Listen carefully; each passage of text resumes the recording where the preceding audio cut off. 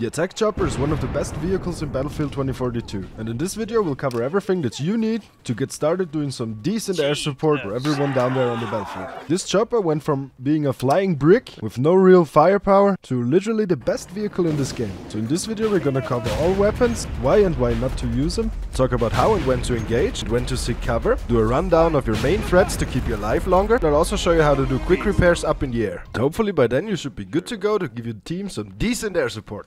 Yeah! Okay, and with the intro out of the way, I really just wanted to thank you all for the massive support. Not only here on YouTube, but also you guys on Discord. We are growing into the best community I've ever been in. Now, let's talk attack choppers. The best loadout for the attack chopper grants you with the ability to one-pass anti-air vehicles. Which is nuts, because they're supposed to take you out. Well, but anyway, how do we get started? If you just started out, you got smart rockets. They don't really do damage, but they hone in on vehicles. Makes them really beginner friendly and should give you your first unlocks pretty quickly. Damage output just sucks on them. You only got 8 rockets and they're slow as hell. Even very light armored vehicles like choppers are not really bothered by them. You can do infantry with them to some extent, but once you get the next kind of rockets, you should never touch them again. Then your first secondary, probably heat seekers. You can bait out the flares on an enemy chopper or jet. You should be able to do 70 damage with them. I mean, they do their job, but if you stuck to heat seekers and unlocked everything, this is probably you.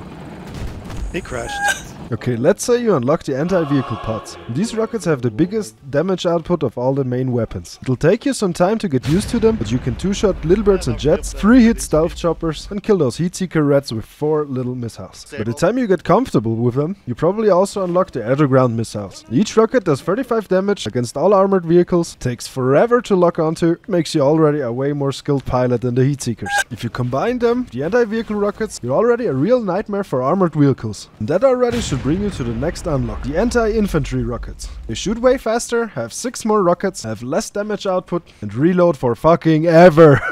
now you're probably like in your head, Fish, they're infantry rockets, they should be better against infantry. Yeah, nope. You need 2 to 4 rockets, and you're constantly out of ammo.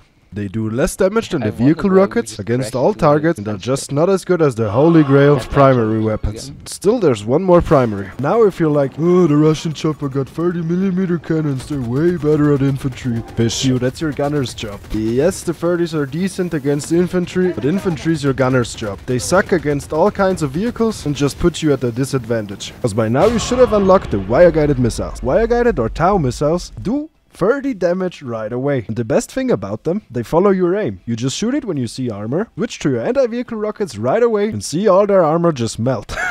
best part about them is in how many ways you can use them. Don't have to lock on for ages to kill one kind of vehicle. They work as good in the air as they do on the ground. So the best loadout you can do, anti-vehicle rockets with wire-guided missiles. But the thing that makes this chopper actually great is its gunner. Not only did the gunner seat get a huge buff in terms of rate of fire, but it now has also thermals to see and farm infantry even easier. And while you as a pilot should focus vehicles, the gunner can literally decimate infantry. if you need some good gunners or pilots, join us on Discord, we got you. Now the hardest part as a gunner is not to overheat your gun, meaning tap fire at all times, just pick away on infantry step by step. If you do that, you do not overheat and are ready at all times to help your pilot out should you need your help on hard-hitting vehicles. Okay, now you know why it's the best vehicle in the game. But now let's talk about engaging and defense. Okay, the attacking mindset. Countermeasures are up, your health is over 75%, meaning you can flare everything that locks onto you. With the 75 health, you will not get one hit from the biggest fear of all helicopter pilots, a ginger.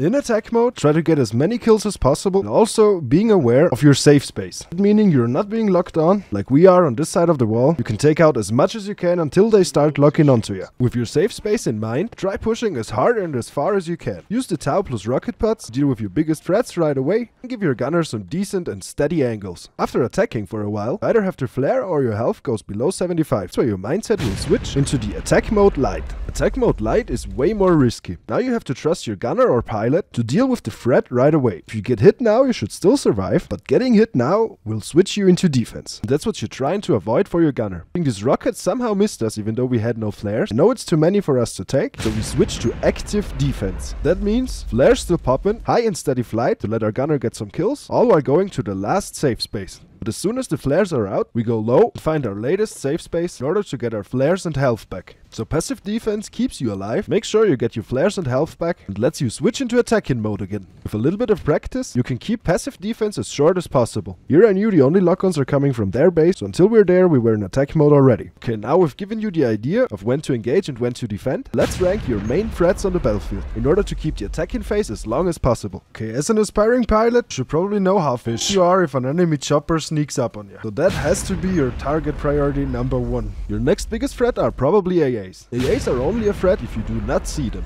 If you see them first, use the TOW and Rocket combo, now have eliminated your two biggest threats, meaning you now have two minutes to let your gunner farm infantry deal with all the armor for your team. Maps with two choppers, it's a lot harder to take track when air vehicles are down, so just go with the flow. We were going for this tank, but spotted one of our main threats up. We're still in attack mode, we charge him right away because of main threat. Even though now we are in attack mode light, AAs are down, and where he's going, there's still plenty of cover, so we could call it active defense. An active defense should go to a safe space, that's exactly what we do while taking out a main threat. Occasionally, some jets can switch to main priority as well. Say they hit you more than 25 on one pass, which puts you in defense, oh, they are a threat to you. Should immediately be eliminated. Okay, let's do a recap. You spawn your chopper, find the enemy chopper first, and ideally gain some height on him. Because if you can't hit your shot, height controls the fight. This is your main priority target, and you should do whatever it takes to take him down. Blow him up, hit him into a building, and good shit, main priority down. That's where your gunner can get all the kills in the meantime, till you find the AA, or it starts shooting you. Trust me, with the new thermals and increased fire rate, you're gonna should be able to rack up loads of kills pretty easily. Okay, now let's say you found your main threat number 2. As long as you're in attack mode, should be able to one-pass any enemy wildcat. Most of AA players are not the smartest. The second they see you, instead of shooting you with their main guns, they switch to lock-ons, which essentially lets you kill them without even being hit. And trust me with that. The secondary gunner on this tank did way more damage than the AA. But it's not all just shits and giggles in the attack chopper. Usually around the 30 kill mark, they will bring out all the missiles they have. Missiles, TV rockets, or however you wanna call them, are the main reason we have to have 75 health in order to be in attack mode. These things can come from anywhere, will not stop the whole round, do 75 to 85 damage to you, depending on where they hit. And trust me, you are gonna feel when you pissed off too many of them.